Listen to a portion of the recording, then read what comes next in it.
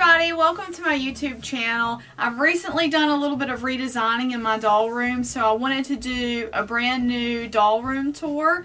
Um, I thought about just showing the parts that I've redesigned, but I've decided just to go through the whole tour again so that you guys can see some new stuff that I have. And for those of you who are new to my channel, you can see the entire tour in case you haven't seen the tour before. Now, most of the furniture in the room is from Ikea, so if you're trying to figure out how to design your own doll room, you can keep that in mind as I'm going through. So I want to start the tour over by the door so you can see how I've got some storage set up over there. Okay, over here by the door area, I have my IKEA tiny house where I keep my tiny kids and it, it works well because it's a wall shelf so it doesn't take up floor space. I have a lot of tinies. I actually had to rehome some of my tinies this year because I have so many of them. They're just so stinking cute. But I keep all their stuff in here and so that's there. You can kind of see here on the floor too, I have this big pink Lovesac beanbag and I like to sit in there sometimes and just look around and, you know, enjoy my room. Here on the wall, I have my pin banner, and I've got lots of pins on it. I really have have started enjoying collecting pins. I have a lot of doll related pins. You can see some of those here. For example, I have a beautiful Crissy pin if you're familiar with Chrissy and Beth. She had these pins made for Crissy's 50th birthday this year. And then I've got various other doll pins. I've got a pigeon doll pin, some My Real Doll pins, Atelier Momoni. Nikki Britt made this pin, so lots of different pins and stuff uh, here. Next to that, I have a jewelry organizer, and inside the jewelry organizer, I use it to organize shoes. And it works really well for me because I can keep all the little shoes together. And when I go to look for a pair, they're usually right here, unless I didn't put them back where they belong. But generally speaking, I can find what I need here and it makes it really easy for me to find my shoes. So jewelry organizers are great as shoe organizers. On the back of the door I have a a real shoe organizer but instead of shoes I use it to organize wigs. So up at the top I keep my smaller wigs and then all the way down they go up by size. So I have everything organized by size and then on the bottom, I have some wig boxes and some other sorts of accessories. So this shoe organizer came from Target, and it works really well for wig organization.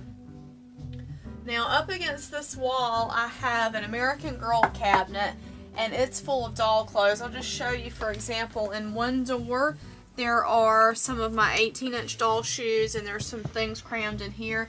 In the other door there's a lot of clothes but I cannot open that because they will come spilling out because they're crammed in there. So whenever I need something out of there I kind of pull everything out and then I put it back in so that's the way that goes. But maximizing all the space in the room, on top of the cabinet I have all of my Trinket Box Kids dolls and in the back are the chunky MSD and they're they can wear American Girl size clothes which is really nice and in the front I've got the two slimmer MSD dolls that I have of hers. Now on the right there's my mini Dollfie Dream Lillaroo. She will be moving to a new home soon because Kim Arnold is coming out with a new Trinket Box kid that I want um, that's going to be in this chunky 18 inch size and so she's going to be parked right here where Lillaroo is right now. Now I've also hung up my Atelier Momoni artwork so one of those, the one in the middle is a print that I got from L-Doll but the ones on the sides are the artwork that come with the dolls with the COAs. So now let's move on to the shelves that are inset into the wall. Alright, in my inset shelves, which my brother built for me, I have at the top of this one, I have this little troll guy by Barrett Dodds. He's an artist that visits my local Renaissance fair every year. And beside him, I have my Forever Virginia Marigold. She's an artist full set. And I think they look really cute together. On the next shelf, I have my Ana Salvador dolls, Emily and Olivia. And I'd like to get a Poppy from her. Um, hopefully, if they do have L-Doll again next year, they will um, I'll be able to get one from her. So, because I'm going to plan to go to that. But they haven't announced whether there's going to be an doll in 2020, as far as I know. But if there is one, I'm going to go. Hopefully she'll be there and I'll be able to pick up a Poppy. On the bottom shelf, I have my Liz Frost artist one of a kind, Maddie, little mini Maddie, and she has an outfit made by Liz, face up by Liz, whole doll is by Liz. Next to her, I have a My Meadow Kira. Her face up is by Charlene Smith, and she is on pre-order right now. So if you watch this video in the next couple of weeks after I put it out, you could still pre-order that doll if you wanted to.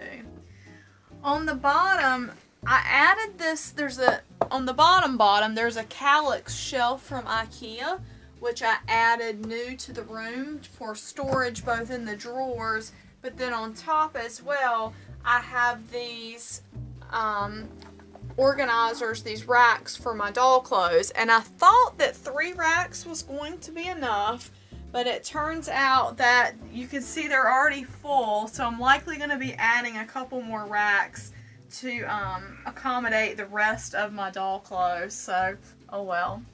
Alright, next on the shelves in the wall, up at the very top here, I got my two new adorable Pongratz dolls, wooden dolls that are handmade in Germany that my husband brought back for me from Germany. How how um, coincidental is it that I'm a doll collector and I married a guy who has to travel to Germany all the time for business? So that kind of worked out for me. On the next shelf, I have my gorgeous doll essence dolls. I've got Laura, um, Adra in Wonderland, and then Melf in the middle. And those girls are super, super pretty. Laura and Adra and Wonderland are both award winners, so I think that's pretty cool. And I think there's room for one more doll essence doll on here. So I have all three of Tatiana's resin dolls. I know that there's going to be another one coming, so I think I'll be able to slide uh, Melf over to the side and fit another doll right in here. So on the very on the bottom shelf, I have two of my Nikki Britt MSD dolls. I've got Tootie and Pepper Annie—they're the same sculpt, but Tootie's in chocolate and Pepper Annie's in a fair resin. So they're really, really sweet dolls with gorgeous faces. And then on the bottom, under the shelf, I have one of my doll dioramas that Shira made for me. And I love this room. It's my pastel room. It's kind of a USD size room. It was made specifically for my Atelier Momoni Petusas.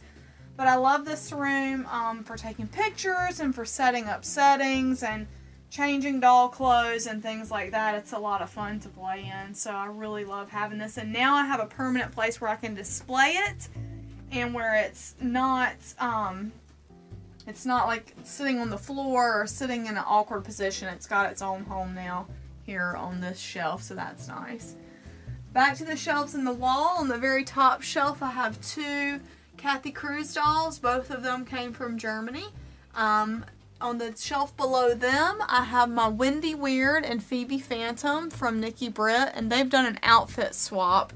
So Phoebe's really supposed to be in the all purple, and Wendy's really supposed to be in the black, but I think they look really interesting with their outfits switched around. Underneath them, I have another Phoebe and Wendy pair. However, they are one of a kinds and they are Hogwarts students. So Phoebe is tan, this is Tan Phoebe, and she's a Ravenclaw student, and then there's Harry Potter. So this is the Wendy sculpt Harry Potter, and if you look, he does have his scar. So super sweet doll. Underneath them, I have my huge Mickey and Minnie plushes that I bought the very first time I went to Disney World and I had saved all of my birthday money for like two years because I knew I was going to Disney World and I bought these two. And so I've never really had a great place to display them because they're so big but now that I have this here I can set them here and I think they look really good here and they're really special to me. They have a lot of sentimental value because they're from that first trip and it was just such a magical trip and um, I really love them. So I've got them sitting there up here on the shelf, back to the wall shelves, the very top I have my Wild Imagination, Elwin, Rufus, and Prudence dolls. The next shelf down, I have my Atelier Momoni Momoni dolls, and these are two of my most favorite dolls in my collection. I absolutely love them. And I originally fell in love with Momoni when I actually saw her in this pink cat dress. I saw this cat dress and I thought, I want that doll in that dress. And it took me a while, but I finally got her and I've been a huge fan of her dolls ever since. Next to them for right now, I've got my Newt Scamander doll from Tonner Company. And that doll, my mom bought him for me at Christmas time. And I'm pretty sure that is the last new doll that the Tonner Company came out with because they released him and then they announced that they would be closing shop. So I'm really fortunate and grateful that I was able to get him. I hate that we're not going to get the rest of the Fantastic Beast line, but it is what it is. I got him, so he's here and he's here to stay. On the bottom shelf, I have more of my Atelier Momoni collection. I've got Nina 1 in the center. Now, Nina 1 is the very first doll that Lola ever sculpted. And around her are the Nina 2 dolls. So I have one of each. I have two of one sculpt and then I have one of each of the other sculpts. So that's them. On the far shelf, I have my Nikki Britt dolls and, or more of Nikki Britt dolls. This is Wendy and Peter, but they're technically the Liam sculpt. So they were from Modern Doll a couple of years ago. Underneath that, I've got Wendy and Phoebe.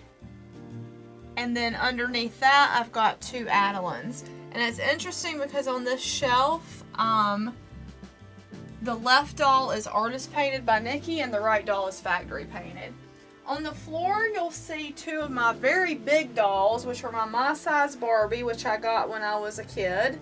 And also my big Kewpie doll, which my grandma had before I was born, but became my doll. And that's why I love Kewpie so much, is because of her.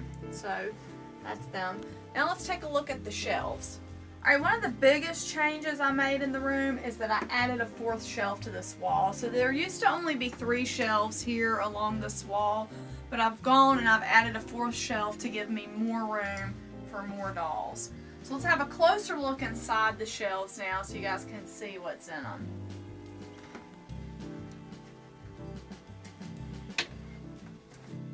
Okay, in my first shelf, on the top shelf, I have a lot of my vinyl dolls, a lot of my Kewpie dolls, a couple of my Shirley Temple dolls, a few of my Crissy dolls.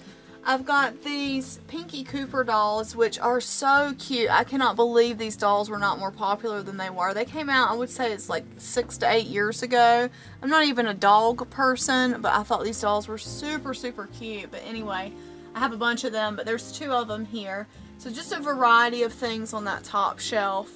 On the next shelf down, on the back row, I have all of my Engel Pup dolls from their Disney dolls. And I had always wanted these when I visited Disney World and I was never able to afford them. So I've been trying to get them all uh, on the secondary market now. And they're, they can be difficult to track down, but I've been able to get quite a few of them. So they're they're really cool dolls to me and they're really special to me. On the front row of this shelf, I've got my Tonner Small World doll, also Disney, if you're noticing the Disney theme here.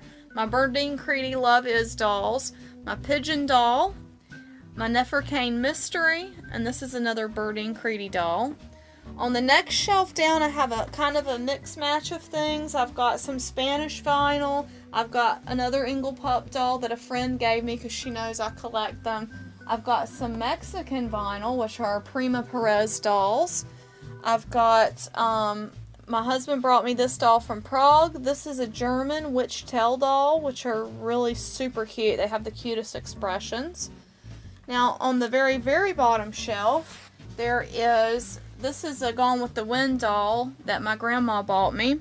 And on the back, I have two BFC ink dolls, a Götz doll, a couple of singing Disney dolls, Kathy DeBella dolls from France, which they are grow hair dolls, which I love grow hair dolls, my Only Kids and Cats doll, a Cabbage Patch doll, that I got from the Cabbage Patch Hospital in Georgia. And then over here, this doll is really special. She is a Cuban doll that my brother-in-law bought me in Cuba. So she's an actual Cuban doll. And the one sitting in her lap, this is a little German doll that my aunt bought in Germany when she was, a, or my aunt didn't buy it. She was a kid, but my grandparents bought it for my aunt when they lived in Germany.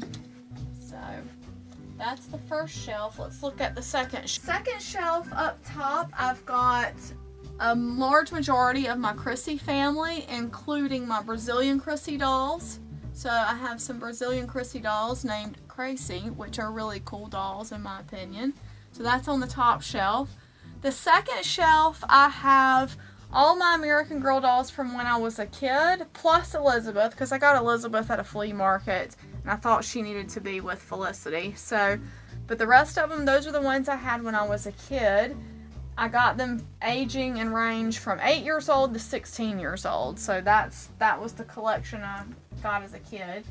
In the front, I've got the Kruselings, which I got these from Germany before they were available here in the States, but these are really inexpensive dolls. You can get them on Amazon. And if you're looking for a doll to collect, these are really, really sweet dolls. They're really well made. They pose great. They have all these little joints, and you can do all kinds of fun things with them. So I highly, highly recommend Kruselings if you're looking for a new doll to get, but you don't want to get something too expensive. They're awesome. I've got my Ron and Hermione from Tonner. A couple of Welly Wishers here. A Glitter Girl. Some more Kruselings and a Skipper doll. The next shelf down I have is mostly Nancy Famosa dolls. So I love Nancy Famosa. There are are re-editions, which are the remakes, and some are actually very vintage. Um, and then in the front of them, I have two more Tonner. I got Harry Potter and Draco. This is an MC squared girl that I got. I picked her up at the flea market, but she was super cute and fully dressed, and for a dollar, I could not pass her up. This is a Berdine Creedy doll that I won on a Facebook um, competition. And then a couple more Skipper's dolls from the 90s. 90s Skipper has the prettiest face. I just love her face. I think she is so gorgeous and I just, I can't pass up 90 Skipper dolls when I see them. Alright, and the very bottom shelf is all, except for one doll, those are all Famosa dolls from the Nancy Famosa family. So the little ones in front are Leslie Famosa, and then there's Lucas, he's sitting down there. The rest are Nancy's, and there's one more MC Square doll there that I picked up at Toys R Us when they were going out of business. Oh, super fell. But let's move on to the third shelf. Okay, this is my new shelf. So up top I put all of my Korean dolls. The all the Doom dolls, all the Blings dolls, and all the Selly Cat or Kelly Cat. I've heard someone else pronounce it Kelly Cat, so I'm not sure if it's Selly Cat or Kelly Cat, either way. So all my Korean girls are up here and a couple of boys. I have one Japanese doll up here, which is the Mel Chan doll in the back right. So I thought they were super cute on that shelf. And um, that's my little kawaii shelf. The next shelf down, I made an SD doll shelf because now I have three SD size dolls. I've got uh, Sailor Moon, and I've got Ondine from La Belle de Jour, and then I have Smart Doll Summer. So they needed their own shelf. In the meantime, before I get other SD dolls, I've put some other dolls in here. Um, I've got Kiki Pop here. And then I've got two or three more Nikki Britt dolls. I've got two little Pepper Annie. I've got Pepper Annie and Tootie. They're the same sculpt, but Tootie is the chocolate. Pepper Annie's the fair. I've got a big Ella, and she's kind of top heavy. Her head is really heavy, so she has to sit down. Then behind them, I have Amy from F&B Doll Studio, which is one of my favorite resin dolls of all time. She is so gorgeous. And then I've got my um, dark chocolate Zia here from, I think they called her dark tan from L Doll. She was a special doll for L Doll this past year. So for SD dolls, I think that I would, I really want to get the other doll from La Belle de Jour. I think her name is pronounced Nayed, but I might be saying that incorrectly. But she posted one for sale, and I tried really hard to get it, and I was too late. I was at work. She, it was a one of a kind doll, and um, I didn't get her, so now it's like now that I've seen her in that color, I don't know if I want another color, but I think eventually I will get one to go with Ondine because I think that would be cool. So underneath that is a shelf of 80s and 90s dolls and I thought that I would have all this space for my 80s and 90s dolls. I started putting them on there and the shelf got full super fast. But I've got my Rainbow Brite, all of my Little Miss dolls, PJ Sparkles. Um, in the front I've got some Care Bears that I've had since I was a kid. These two are called Herself the Elf. And I think they're really sweet. Um, so, and this Pooh Bear I've had since I was a baby. So all, a lot of that stuff is really um, sentimental to me. The very bottom shelf of this shelf is uh, just kind of a mix match of things. My Hot Looks dolls are here. And then I've got one of my French Crissies, some Harry Potter dolls, some antique dolls. So that's just a really mixed match of things down there. So now let's look at the last shelf. On the last shelf up top, I have a lot of my Juanita Perez collection, a few Nancy dolls, a few random Barbies of different kinds, and in the front sitting down, those are two of my Tonner toys. The one on the left is a little mismatched, and the one on the right is a pretty girl. So there's a lot of different things on that top shelf. The second shelf are all my American Girls that I've gotten as an adult. So that's those girls back there. There's some Barbies mixed in, MC Square doll. And in the front, I've got all my Cherry Merry Muffin dolls. And one of them is a Small World doll, if you can tell which one that is. It's the one here. And there's another Small World doll over to the right. So I have a thing for Small World dolls, if you haven't noticed that trend. The next shelf down are all my Hearts for Hearts dolls, which I think they're super well made dolls. Some of the older ones from the first runs, their eyes are starting to turn pink, which is a shame. Mine are in pretty good condition. They haven't turned too much, but you'll see them sometimes out at secondhand stores and the eyes will be really pink, and that's a pretty typical thing that happened with them. Also have a Spanish doll, a German doll, and then Annette Himstedt BB down on that shelf. And then the very bottom shelf is a lot of more random stuff. Um, I've got a Maru and Friends doll, my Zorgnazi doll, some Iranian play dolls, and some more Nancy dolls are down there. So just again, a lot of stuff that didn't fit in any particular place made it down there. Now over here, I kept this um, shelving unit, which I had before with my craft table. And I usually keep my light box up here, but I took it out for this video. But I keep this doll diorama that Shira made me in the light box. But it has a permanent place now to be set up so that it's not, again, it's got a nice permanent place to stay. And I, I really like that. Now up here on the wall, again, making use of all the space. So I've got as many wall shelves as I can. I've got this shelf which inside of it I've got all of my little darlings across the bottom back and then in front of them I've got all of my Atelier Momoni Petusas which are some of my favorites so they're here on the top shelf I've got a lot of my Jim Shore Disney figurines and then behind them my Adamaru dolls and then you see a space back there for a new doll of who could it be? I don't know, but I've got space to grow, which is great. In the very corner, I've got one of the little kids and cats dolls from Bonica with the Bonica outfit on. On top of this, I have my Bob Mackie Barbies um, that I've been trying to collect, all of them. So some of those I've had, or four of those I've had since I was a kid. A friend of mine knew I was trying to get them all and she got me the, the gold one in the center, which was the very first one that was released. So that's Again, using all the space that I have available. So not only do I have dolls in the shelves, I have dolls on top of the shelves. So up top you'll see all of my Animators collection dolls in the very back up against the wall. And then in front of them I've got a lot of different plushes, some of my Cabbage Patch dolls. Of particular note, if you see the Little Mermaid and the Alice in Wonderland doll, I got those from Tokyo, Japan uh, from Tokyo Disneyland in Japan and those were two dolls that I really wanted and I really loved them. Some more stuff from my childhood, Magic Nursery dolls, and then in the very corner I've got two of my limited edition Disney dolls and then oh, well, four actually total because I have the Robin Hood and Marion dolls as well. They're limited edition dolls. And then some other dolls from my childhood there. So just trying to use all the space that I can to display as much as I can.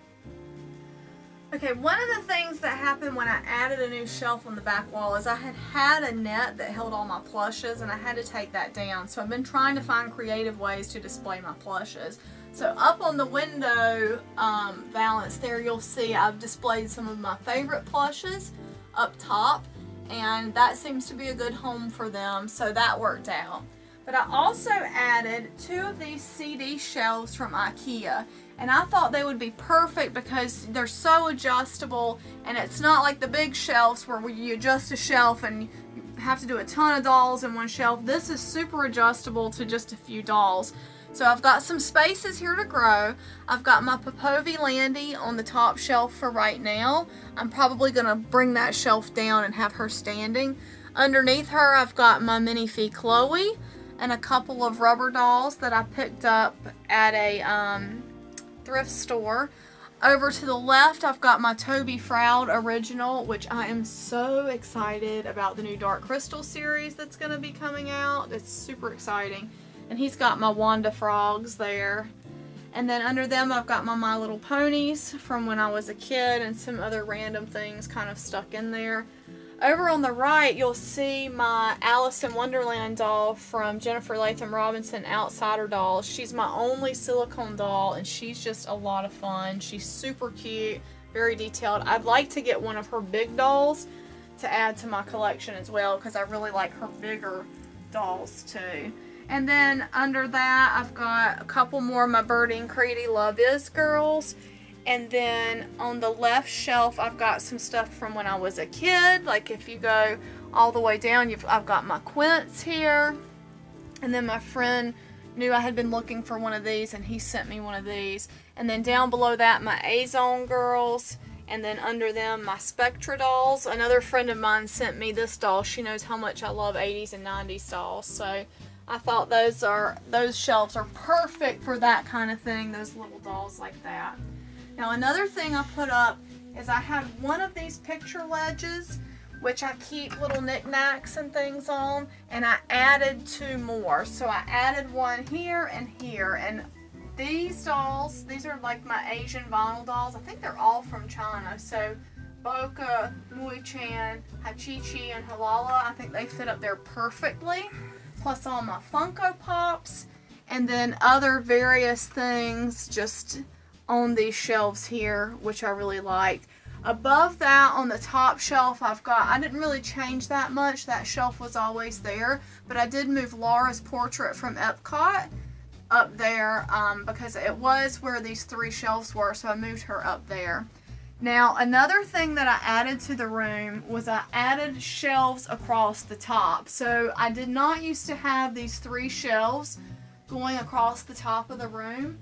But I added those there and I've put some of the plushes there as well for display. And I don't know that that's the permanent way these things are going to go, but for now it works. I may get up there and rearrange those in the future. But I think they look pretty good and it gets the things off the floor and I'm making use of all the space that I possibly can in the room. So that's the idea. Alright guys, thank you very much for coming along on the tour with me. I know it was kind of long, but I hope you enjoyed it. If you have any questions about anything you've seen in the video, please leave them for me in a comment below. I'm always happy to do video requests if you have comparison requests or you want more details about a doll. I'm always looking for new ideas for videos, so just let me know if that's something that you're interested in. If you like what you've seen here, I'd love it if you subscribe to my channel and give the video a thumbs up. Thank you very much for watching. And I'll see you next time. Bye-bye.